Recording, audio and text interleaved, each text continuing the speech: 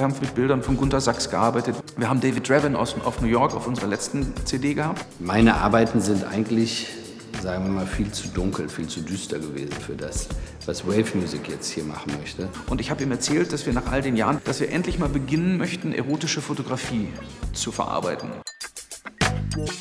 Wir sind einfach hell. Wir sind froh. Eine, eine schöne Frau. Mehr nicht. Ja, das einfach im positivsten Sinne zu nehmen.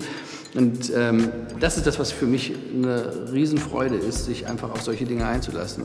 Und die Herausforderung war ja nicht zu sagen, wir nehmen einen Fotografen, der uns ein Bild macht, was wir bearbeiten, woraus wir ein schönes Cover machen, sondern die Idee war, wir lassen, wir wollen ein Kunstprojekt.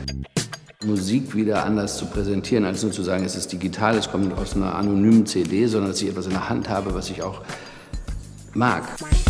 Das Besondere an der Aufmachung dieses Musikbuchs ist zunächst erstmal die high-endige Verarbeitung. Es ist aus feinsten Materialien mit, mit der Optik und der Haptik der Vinyl. Man hat immer etwas zwischen den Zeilen. Ich glaube, das ist das, was, was die Fotos und die Bilder, äh, also die Bilder und die Musik ausmacht.